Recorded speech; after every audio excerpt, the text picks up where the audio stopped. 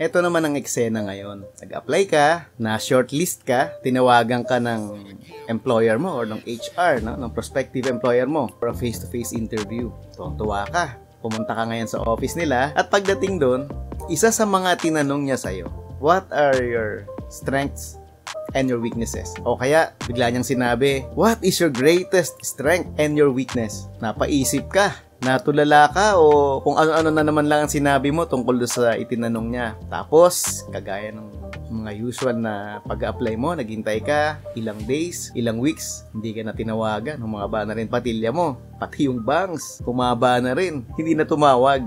So, maaring isa sa mga problema o naging problema mo ay yung pagsagot mo dun sa tanong na yon. Pag-uusapan natin yan.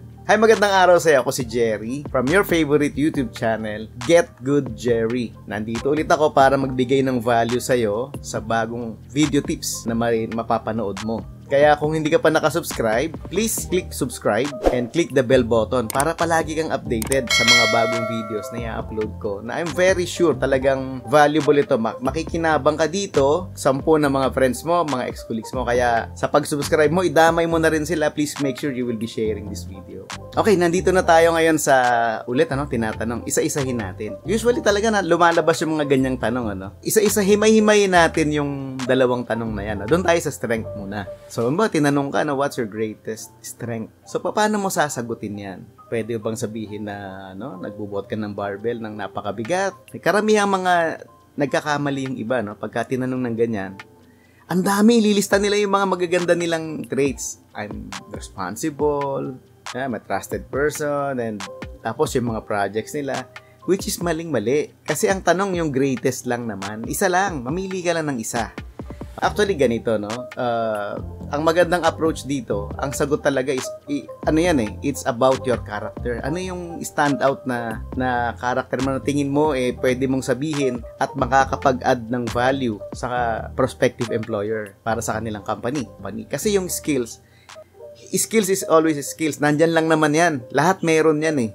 No? Ang mag-stand out dyan, yung character mo, paano mo maire-relate yan sa skills mo. So, paano ka makakita ng mga ganun? Wala kang maisip na idea. Ay, mag-google ka ng ano, Google positive traits. May makikita ka dyan, lalabas yung mga positive yan. So, mamimili ka ng talagang appropriate sa sa sa ano, sa pang-professional na pag-apply mo. Isasuggest ko sa iyo, no? Positive, creative, hardworking, loyal, with integrity. Yan yung mga magaganda na pwede mong banggitin kung magbabanggit ka ng isa, mamili ka dyan. Yan yung mga suggested na proven talaga na nakatulong din sa mga applicants na gumagamit ng ganyang uh, ng mga sumasagot sa ganyang tanong. Ngayon meron pang isa, isa-suggest ko sa iyo is yung yung word na persistent maganda rin. Pwede kong sabihin na I'm a very persistent person. I never give up on difficult things very easily. And every day I'm trying to improve on the projects what, what whatever projects I'm involved. Pwede mo yang i-relate sa work mo. Tapos pwede mo ring sabihin, I built on this strength to help my clients achieve what they want. Parang ganong klase, maganda yun. No? Parang nirelate mo yon sa, hindi mo naman sinabi yung particular na strength mo when it comes to technical skills. Pero ang sinasabi mo, nagle-leverage ka dun sa karakter mo na very strong sa strong trait mo para ma-achieve ninyo yung common goal for the employment uh, objective. Okay, natapos na natin yung greatest strength mo, no? Doon naman tayo sa ano, may kakambal na tanong, di ba? What's your biggest weakness? Paano mo sasagutin yan? Ito yung mali. So, kung sasabihin na weakness mo yung I'm always late for work, yan no? I'm very disorganized, tsaka yung ano, I tend to be a negative thinker, yung mga ganyan, hindi siya magandang sabihin. Kasi pag yan ang mga pinagsasabi mo, sasa iisipin ng employer, baka pwedeng babalik yung karakter na yan sa taong to. Pag employed na namin, baka mahirapan kami dito.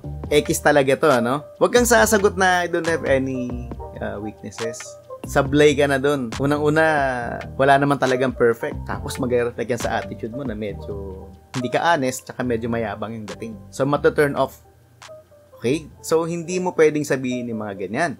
So, ang, ang magandang sabihin, pwede kang magsabi naman, definitely magkukwento ka, eh, magsasabi ka ng, ano, ng, ng isang weakness, negative traits, pero ano, pwede mong i-turn around para maging positive. Halimbawa, pwede mong sabihin, no, I'm having a difficulty uh, striking a balance between my personal life and my my career. Tapos, magbigay ka ng story. Halimbawa, for example, most of the times, we will have uh, weekend meetups with my friends and uh, ex-colleagues. But then, at the last minute, I have to, I had to cancel the meeting because I need to attend to some urgent work. So, yung mga ganong klase. So, pwede mo ring sabihin, you are a work in progress. Kaya, you always believe na you are improving every day to balance your commitment when it comes to your personal life and your your uh, your work or your career. Lagi mong ire-relate yung positive or yung improvement na ginagawa mo para ma ma, ma transform mo yung weakness mo sa strength. Ang advice ko sa'yo, practicein mo yan. Sulat mo, no? gawa ka ng script mo. Okay? Pag-aralan mo yung prinsipyo behind the question at saka dun sa answers na ibinibigay natin.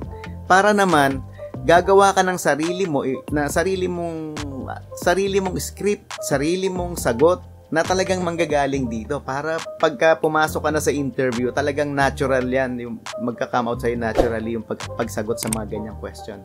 Actually, yung interview na to, by the way, no, magwo-work to sa face-to-face interview or sa phone interviews or sa video interviews. Actually, ganitong ganito rin ang mga ina-advise ko sa mga kino-coach ko before. Okay? Kahit na junior role sila, senior role sila, director level yung ina-applyan nila, kino-coach ko sila sa mga ganitong mga maliliit na question pero sometimes very tricky at mabigat ang dating nito minsan kung, kung magkakamali ka ng sagot. So, Practice, practice, practice. Yan yung masasabi ko sa'yo. So, tapos na tayo dito sa question na palagi na lang tinatanong sa interview. Ano? And hopefully, sana nakapagbigay ako ng value sa'yo. At kung sa tingin mo, very valuable itong naituro ko sa'yo ngayon. Ano? Let me hear from the comment section. Mag-comment ka doon or kung ano pa yung concerns mo na sa tingin mo dapat na may address sa'yo or kung ano pa yung talaga mag-specific para sa'yo. Comment ka lang, tignan natin kung paano kita matutulungan. I'll be happy to help. Again, maraming maraming salamat sa panonood mo. At inuulit ko, nilalambing ko ulit sa'yo, no? kung hindi ka pa nakasubscribe, remember to click the subscribe button at saka yung bell para palagi kang updated sa mga bagong uploads na ilalagay ko sa channel natin para sa'yo. Definitely makakatulong sa'yo. And please remember to share this uh, video kasi sharing is caring, no? Mas marami tayong matutulungan, mas maganda. We will all be successful. Again, my name is Jerry, reminding you to get good at what you do. Get good Jerry is always here for you. May all your dreams come true and I'll see you on the next video.